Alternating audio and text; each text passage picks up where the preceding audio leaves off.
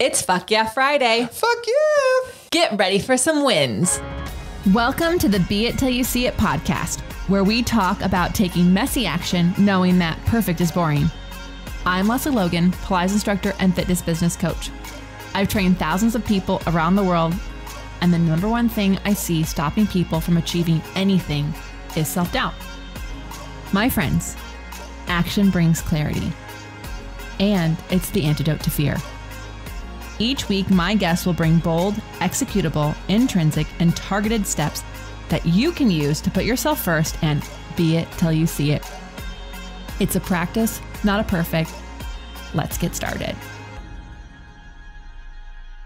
Hey, be it babe. Happy Friday. Happy FYF. Happy day to celebrate some wins. Thank you for being here. Thank you for letting us give you some inspiration of what some wins are. And I'm hoping that these are helpful for you to see all the different things that can become a win in your day, right?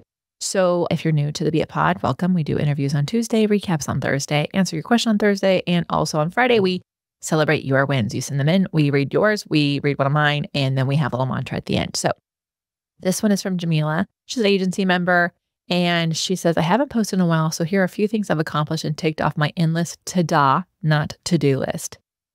Ready for this, guys? Here we go. Set prices for my Pilates classes high because I'm worth it set up Acuity, and have first client booked. With Stripe payment working too. Ordered mirror for the studio. Taught my first duet to two teenagers. They were 15. Emailed the Women's Health Clinic to present my services and offered a partnership. Becoming known. Donated 30 coupons for winners at upcoming local swimming event. Got five people to sign up for the menopause and nutrition workshop I'm hosting. I'm totally into researching this topic of personal interest at the moment. Let myself cry and have a do nothing and eat carbs day because everything is effed overwhelming. Everything is effing overwhelming. Stayed on top of my German class and homework, planted some kale spinach in the garden, got three weightlifting sessions in this week, organized my daughter's birthday party, wrote a script for videos I'll be filming in a week, briefly marketed agency for an offer, converted four clients who bought a discounted membership at, via an online campaign to buy annual memberships, listened to Mel Robbins' book, The Five Second Rule, and I'm using it.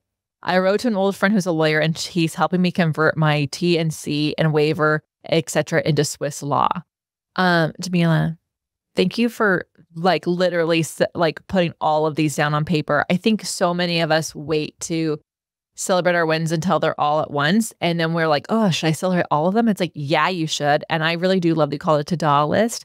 Um, and it is an endless to-do list. And so same, I think we all need to-do lists everywhere we go. So Jamila, thank you so much. You're doing incredible work. I know it's a lot um, you're doing it all on your own and you um, have recently moved and it's just a lot. So you're kicking fast. I love it. I have one more from another agency member. By the way, agency is our um, coaching company. We have an agency on demand, so you can get office hours with us and um, on demand stuff. And so these are these wins coming from a lot of these members. Um, Christine Eschen. Oh my God, it's not even FYF yet, but I have to share. Had a newbie gone for two months I just used a Phil Jones what to say format in a text. She responded a few minutes and bought a 10 pack and tipped me $160 and committed to two times a week. Abundance, thank you, agency, LL, and Brad. This is for the Be It Pod. Yes, it is. Oh my God, Christine, way to go. I love you guys. If you don't know what she meant by Phil Jones, there is a book about like selling from Phil Jones. And um, a lot of our agency members have been using it to help them with how to follow up with clients, how to check back in. And so, way to go, Christine, for doing that. You are amazing. All right, a win of mine. We took another weekend off. You guys, we didn't need to. We could have because we're trying to stay home and, and we did. But like we really did take this long holiday weekend off because the holiday was in the middle of the week and we spent some time with some friends. And then the two of us just like staycationed a bit it was just really, really important that we did that. And I think like if you don't realize that taking a weekend off and doing just stuff like life is a win, then you really have to reset and reframe what's going on in your life because being an adult is a lot of work. And it is easy to just do one more thing on the email or just check one more thing or or get down on yourself for not doing anything at all. You know, it is a win. It is a win to get bored. It is a win to take time for yourself. Also, another win is that I'm about three to four weeks in this like pseudo elimination process. So I'm not doing a full elimination diet because that's not necessary. But as you know, I'm working with a company called Femgevity. And I do hope that you use my free consult call if you, if what I'm doing with them interests you. And they told me uh, some of the stuff I'm sensitive to. And I've been wondering why I'm so bloated all the time. And I start off the day not. And so I've, obviously it's something that's going on with my gut. And I have information about that coming up. I'll share with you later. But at any rate, I was having oat milk every day. Should not be having that. There's different fruits that I'm very sensitive to. There was different fishes. It doesn't mean that I can't ever have them because these are not true, true allergies, but they're sensitivities and I need to go off of them for six to eight weeks and then try to introduce them. And it is just very interesting to find new ways to have your coffee. So I've been asking for help, which is another win. So several wins for this week, and I'm really proud of myself. And by the way, asking for help is a win. Should pat yourself on the back because you're an overachiever if you're listening to this podcast. I know you. Hi.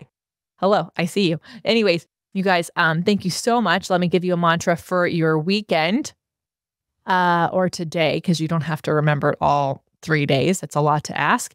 So here it is. Letting go creates space for opportunities to come. Letting go creates space for opportunities to come. Letting go creates space for opportunities to come. What can you let go of to create some space? Have an amazing day. And until next time, be it till you see it. That's all I got for this episode of the Be It Till You See It podcast. One thing that would help both myself and future listeners is for you to rate the show and leave a review. And follow or subscribe for free wherever you listen to your podcast. Also, make sure to introduce yourself over at the Be It Pod on Instagram. I would love to know more about you. Share this episode with whoever you think needs to hear it. Help us and others be it till you see it. Have an awesome day. Be It Till You See It is a production of the Bloom Podcast Network. If you want to leave us a message or a question that we might read on another episode, you can text us at plus one 310 905 5534 or send a DM on Instagram at Be It Pod. It's written, filmed, and recorded by your host, Lesley Logan, and me, Brad Crowell. It is transcribed, produced, and edited by the Epic team at Disenyo.co. Our theme music is by Ali at Apex Production Music, and our branding by designer and artist Gianfranco Cioffi. Special thanks to Melissa Solomon for creating our visuals. Also to Angelina Herrico for adding all of our content to our website. And finally, to Meredith Root for keeping us all on point and on time.